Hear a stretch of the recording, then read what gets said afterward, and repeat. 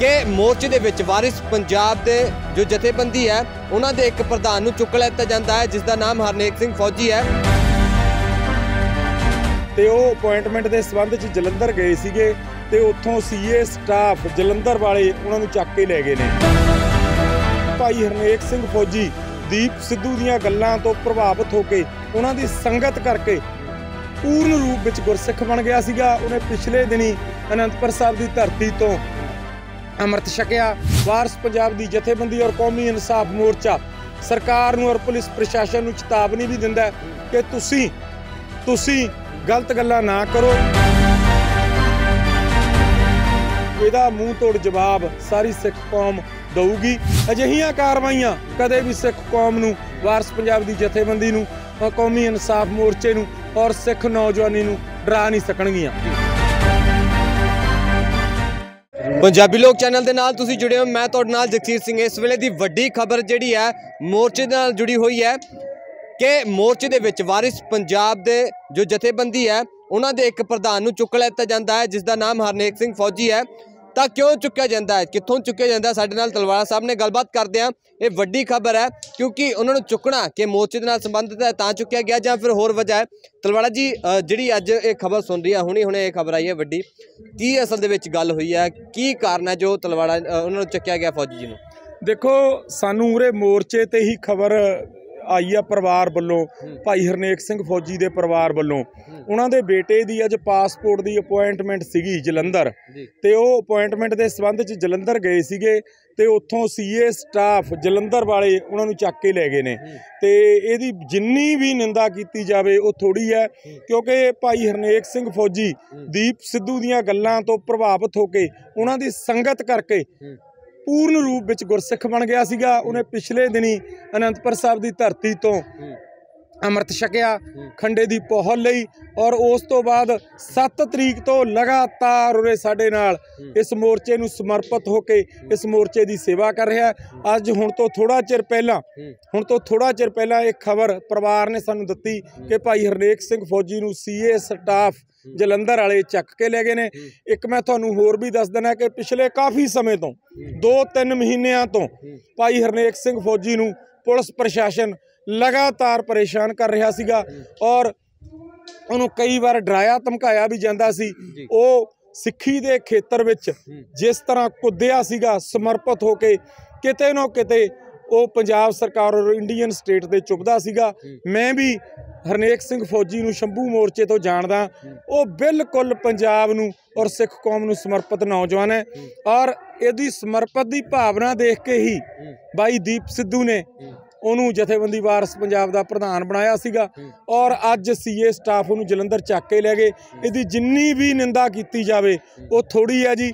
ਔਰ ਇਸ ਮੋਰਚੇ ਤੋਂ ਵਾਰਸ ਪੰਜਾਬ ਦੀ ਜਥੇਬੰਦੀ ਔਰ ਕੌਮੀ ਇਨਸਾਫ ਮੋਰਚਾ ਸਰਕਾਰ ਨੂੰ ਔਰ ਪੁਲਿਸ ਪ੍ਰਸ਼ਾਸਨ ਨੂੰ ਚੇਤਾਵਨੀ ਵੀ ਦਿੰਦਾ ਕਿ ਤੁਸੀਂ ਤੁਸੀਂ ਗਲਤ ਗੱਲਾਂ ਨਾ ਕਰੋ। ਪੰਜਾਬ ਦੇ ਵਿੱਚ ਮਾਹੌਲ ਦੁਬਾਰਾ ਖਰਾਬ ਨਾ ਕਰੋ। ਸਿੱਖ ਕੌਮ ਦਾ ਨੌਜਵਾਨ ਔਰ ਸਿੱਖ ਕੌਮ ਜਾਗਰਤ ਹੋ ਚੁੱਕੀ ਹੈ। ਉਹਨਾਂ ਨੇ ਆਪਣੇ ਹੱਕਾਂ ਲਈ ਸੰਘਰਸ਼ ਕਰਨੇ ਹੀ ਕਰਨੇ ਨੇ ਜਿਨ੍ਹਾਂ ਨੂੰ ਕੋਈ ਰੋਕ ਨਹੀਂ ਸਕਦਾ। ਲੇਕਿਨ ਸਰਕਾਰ ਪੰਜਾਬ ਸਰਕਾਰ ਦਾ ਇੱਕ ਬਹੁਤ ਹੀ ਗਲਤ ਕਦਮ ਹੈ।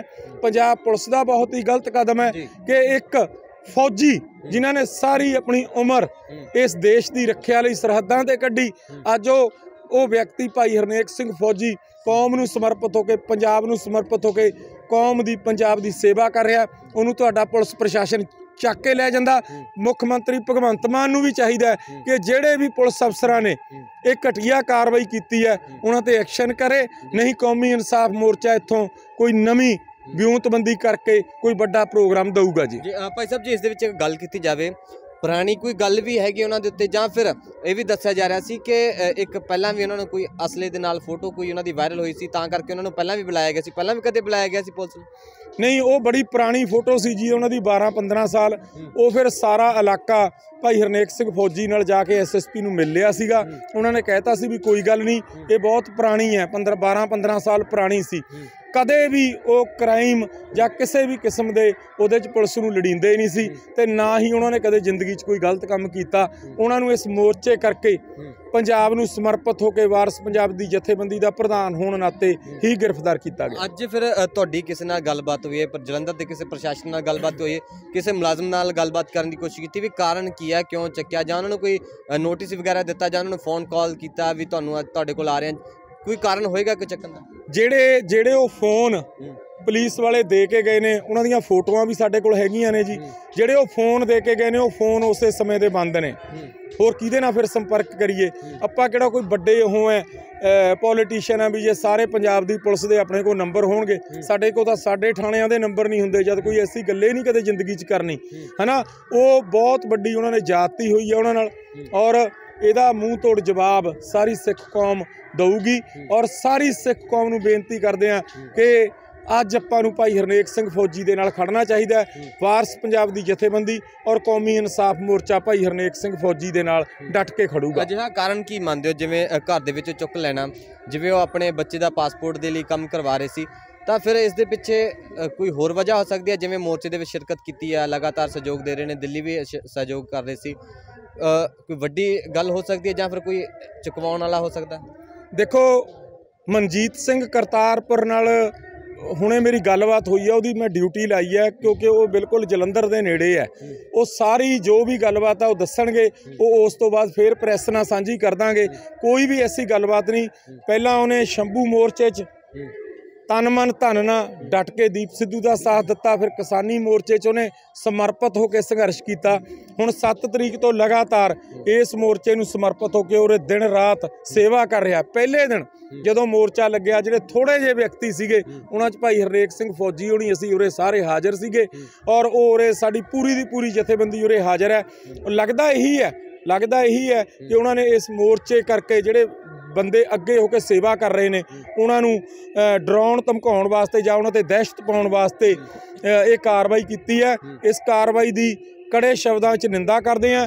ਅਜਿਹੀਆਂ ਕਾਰਵਾਈਆਂ ਕਦੇ ਵੀ ਸਿੱਖ ਕੌਮ ਨੂੰ ਵਾਰਸ ਪੰਜਾਬ ਦੀ ਜਥੇਬੰਦੀ ਨੂੰ ਕੌਮੀ ਇਨਸਾਫ ਮੋਰਚੇ ਨੂੰ ਔਰ ਸਿੱਖ ਨੌਜਵਾਨੀ ਨੂੰ ਡਰਾ ਨਹੀਂ ਸਕਣਗੀਆਂ। ਜੀ ਪਹਿਲਾਂ ਵੀ ਚੁੱਕਿਆ ਗਿਆ ਸੀ ਜਿਵੇਂ ਦੱਸ ਰਹੇ ਸੀ ਕਿ ਪਹਿਲਾਂ ਛੱਡ ਦਿੱਤਾ ਗਿਆ ਸੀ ਟਾਈਮ ਅੱਜ ਵੀ ਜਾਂ ਵੈਸੇ ਪੁੱਛਗਿੱਛ ਲੈ ਗਏ ਨੇ ਜਾਂ ਫਿਰ ਜੇਲ੍ਹ ਦੇ ਵਿੱਚ ਤਾੜਿਆ ਜਾ ਸਕਦਾ? ਦੇਖੋ ਹਾਲੇ ਤੱਕ ਕੋਈ ਪਤਾ ਨਹੀਂ ਜੀ। ਮੈਂ ਮਨਜੀਤ ਸਿੰਘ ਕਰਤਾਰਪੁਰ ਦੀ ਡਿਊਟੀ ਲਾਈ ਹੈ। ਇਹ ਇਸ ਮਹੀਨੇ ਦੇ ਵਿੱਚ ਤਿੰਨ ਚਾਰ ਵਾਰ ਉਹਨੂੰ ਬੁਲਾਇਆ ਗਿਆ। ਬੁਲਾ ਕੇ ਉਹਨੂੰ ਡਰਾਇਆ ਧਮਕਾਇਆ ਗਿਆ। ਅਸੀਂ ਇਹ ਗੱਲ ਕਿਸੇ ਨੂੰ ਨਹੀਂ ਦੱਸੀ। ਉਹ ਇਸ ਕਰਕੇ ਨਹੀਂ ਸੀ ਦੱਸੀ ਕਿ ਯਾਰ ਅਗਲਾ ਕਹੂਗਾ ਕਿ ਪਤਾ ਨਹੀਂ ਕੀ ਗੱਲ ਹੈ ਹਨਾ? ਪਰ ਉਹਦੇ ਤੇ ਬਹੁਤ ਜ਼ਿਆਦਾ ਉਹਨੂੰ ਡਰਾਉਣ ਦੀ ਕੋਸ਼ਿਸ਼ ਕੀਤੀ ਗਈ ਪਰ ਉਹ ਅਡੋਲ ਖੜਾ। ਸਾਰੀ ਜਥੇਬੰਦੀ ਪੂਰਾ ਕੌਮੀ ਇਨਸਾਫ ਮੋਰਚਾ ਔਰ ਸਾਰੀ ਸਿੱਖ ਕੌਮ ਭਾਈ ਹਰਨੇਕ ਸਿੰਘ ਫੌਜੀ ਦੇ ਨਾਲ ਡਟ ਕੇ ਖੜੀ ਹੈ ਜੀ। ਬਹੁਤ ਸ਼ੁਕਰੀਆ ਤਲਵਾੜਾ ਜੀ ਸਾਡੇ ਨਾਲ ਸੀ। ਤਾਂ ਇਹਨਾਂ ਨੇ ਉਸ ਚੀਜ਼ ਦੀ ਨਿੰਦਾ ਕੀਤੀ ਹੈ ਜੋ ਪੁਲਿਸ ਨੇ ਫੌਜੀ ਨੂੰ ਚੁੱਕ ਲਿਆ ਗਿਆ ਵਾਰਿਸ ਪੰਜਾਬ ਜਥੇਬੰਦੀ ਦੇ ਪ੍ਰਧਾਨ ਨੇ। ਤੇ ਇਹਨਾਂ ਵੱਲੋਂ ਸਖਤ ਨਿੰਦਾ ਕੀਤੀ ਜਾ ਰਹੀ ਹੈ ਤਾਂ ਕੌਮੀ ਇਨਸਾਫ ਮੋਰਚੇ ਵੱਲੋਂ ਪ੍ਰੋਗਰਾਮ ਵੀ ਦਿੱਤਾ ਜਾ ਸਕਦਾ ਅਗਰ ਜੇ ਉਹਨਾਂ ਨੂੰ ਨਹੀਂ ਛੱਡਿਆ ਜਾਂਦਾ ਤਾਂ ਕਾਰਨ ਹਜੇ ਦੇਖਣ ਦੇ ਹੋਣਗੇ ਕਿ ਕੀ ਕਾਰਨ ਹੈ ਕਿਉਂ ਚੁੱਕਿਆ ਗਿਆ।